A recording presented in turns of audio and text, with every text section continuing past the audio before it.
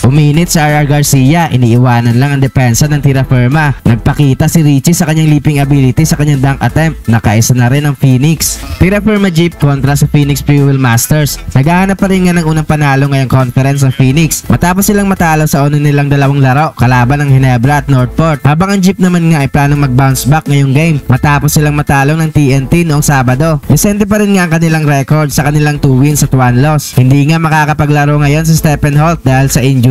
Habang sa kabila naman nga hindi pa rin makakalaro si Tyler Tio. Sa simula ng first quarter ay mainit nga kagad ang opensa ng Phoenix kung saan nagkaroon sila ng 11 to nothing start. Struggle nga ang Terraforma makabasket kung saan nakuha nila ang kanilang unang basket sa game sa 7 minute mark courtesy of Javi Gomez Diliano. Naging maganda nga ang shooting ng Phoenix sa labas. Naging in control nga ang Phoenix sa quarter na ito. Pero bigla nga bumagal ang kanilang opensa late in the quarter. Nagkaroon din ng small run ng Jeep para ibaba sa tatlong kanilang hinahabol after ng opening frame sa score na 19 to 16.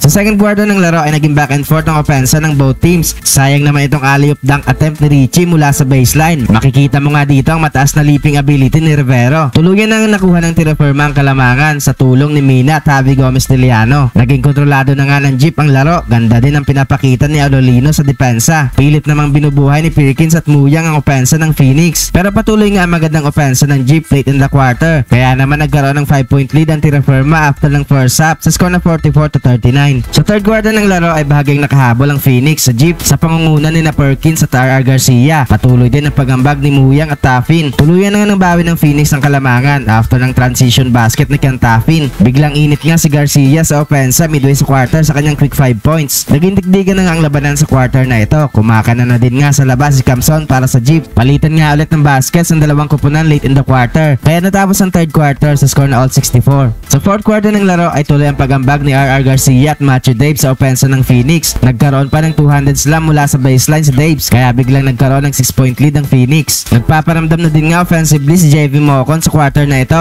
Patuloy nga ang pag-arangkada ng Phoenix sa opensa late in the quarter kung saan umabot na ulit sa double digit ng kanilang kalamangan na pinangunahan ni Ken Taffin. Patuloy din ang pagambag ni RR Garcia. Sa huli nga hindi na nakahabol pa ang Tira Firma. Panalo nga sa game na ito ang Phoenix.